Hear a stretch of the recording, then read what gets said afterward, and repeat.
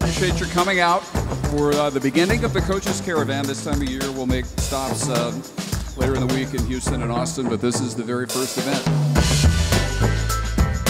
So whether you buy season tickets, whether you're a member of the Mean Green Scholarship Fund, no matter what you're doing, you're helping us create that momentum. First time in our Conference USA history, the swimming and diving team finished in the top three.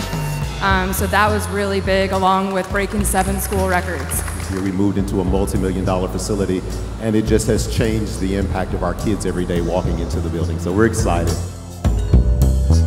Yeah, I'm really excited about this season. You know, this is about the time to where your culture really starts to set in, things start to take off, and I think our guys know now what they're kind of getting into with our coaching staff, and so I think it should be a very good year for us. This year we had some unbelievable attendance at the Super Pit and at Frisco, and so hopefully we're going to make another step this next year. But I told our guys that they laid the foundation for what's going to be one of the best runs in North Texas basketball history.